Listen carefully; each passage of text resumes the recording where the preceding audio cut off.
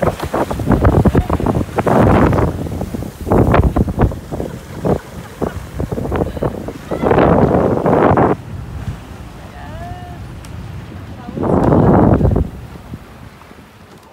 ready to go sailing. Coronavirus style. Can't stop us. I'm so stoked to go sailing right now. It's like the only thing open. And you know me, I love sailing. What's going on everyone? Alan here, AKA The Bird Bae. Today I am out sailing. This whole coronavirus thing is finally slowly blowing over. So our local uh, spot opened up to go sailing. Uh, I'm going sailing today and we had one of our uh, viewers, subscribers ask a question, say, hey Alan, can you make a video on how to keep your parrot entertained, entertained, right? When you are away, I'm out from like 8 o'clock to 8 a.m. to 3 p.m., right? So I understand that most people are not gonna be home all day to be able to hang out with their parrot, give them attention, or at least so they won't feel lonely. So that's a that's a really good question and I want to talk about it today in this quick video. So basically what I would recommend in an instance like this is uh, number one, you know, if you're gonna be away, make sure that when you're with your when you're away, you have given your parrot plenty of toys in its cage, and you want to figure out what toys it likes the best, and you can have uh, those toys around the cage. Parrots really like foraging, so one thing that I do to keep Elfie entertained when I'm gone, like right now, I'm gone for about four or five hours, is we'll stick uh, or I'll stick uh, almonds or one of his favorite treats or like dried fruit inside a foraging ball and he'll be entertained for like one or two hours sometimes just trying to rip it open and trying to get to the foraging toy. Another thing that I want to talk about is, you know, it's not just about being able to be with your parrot because a lot of people, you know, they, they, they think that you have to have a parrot for a specific species, you know, like um, umbrella cockatoo has to be out for three to four hours a day or a, um, I don't know, a Senegal parrot has to be out at least two hours a day. It's not about just being out.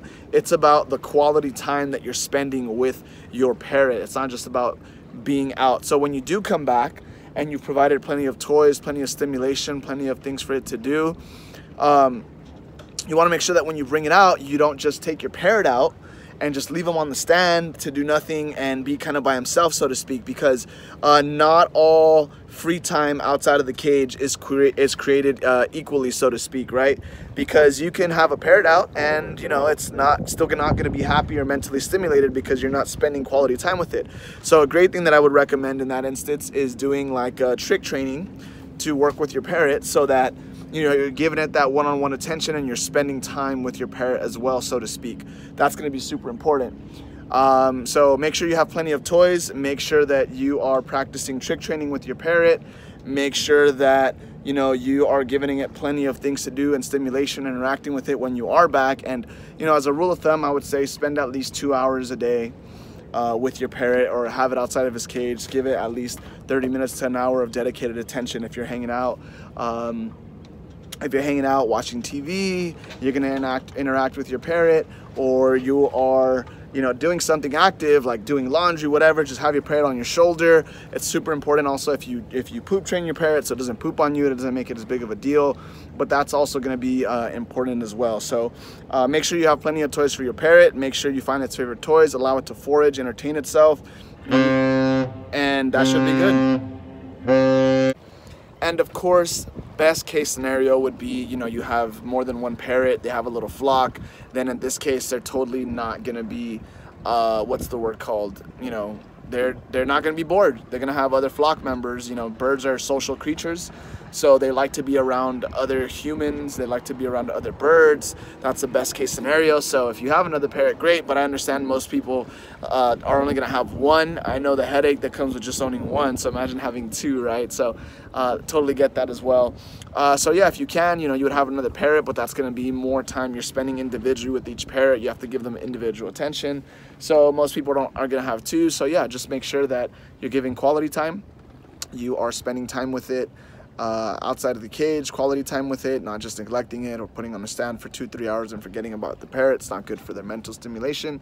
Shake training your parrot, hanging out with it one on one, um, taking her with you around the house at least to do chores with you or whatever you're doing as long as, as, long as it's going to be safe. Those are all going to be good options for you uh, when you're away. Foraging toys, uh, good nutrition, uh, make sure that it's well fed before you leave, make sure that you're back before it's like super hungry. Um, if you're going to train it in the afternoon, you know, make sure that you don't go too long without your parrot not eating because that's also not good for your parrot. So just a couple things to think about. And, you know, we're here sailing today in San Diego. Um, yeah, so just a couple tips for you there. Talk to you guys next time. Looks like we got a boat coming in. Uh-oh. Where is it, El? It's big. It's big. It's coming big boat somewhere. Time to head out. Talk to you guys next time.